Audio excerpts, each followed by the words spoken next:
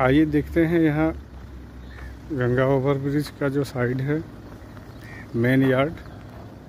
यहाँ पे किस तरह से गार्डर का काम किया जा रहा है और एक स्थान से दूसरे स्थान ले जाने के लिए किन गाड़ियों का इस्तेमाल कर कैसे लिया है, ले जाया जाता है।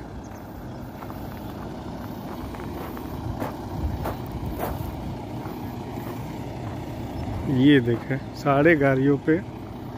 गार्डर्स चढ़े हुए हैं। और ये एक लाल गाड़ी है। इस पर आपको दिखाएँगे कैसे गार्डर लोड होके आगे जा रहा है गंगा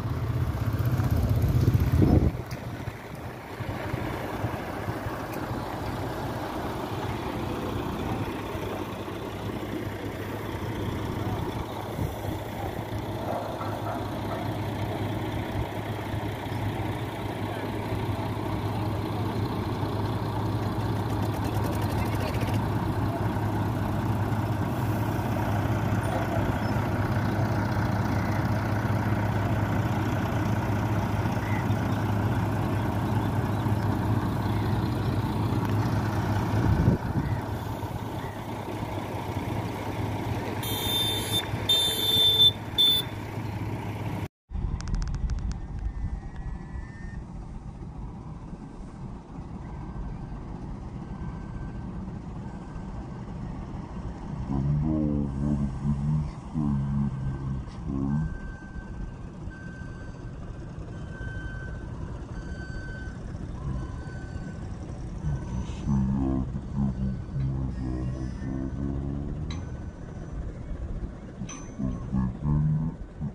जिसे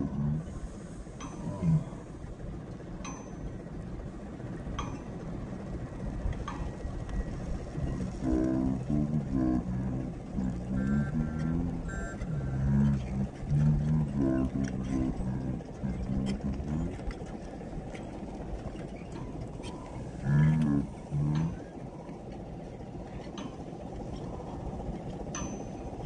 ये अपने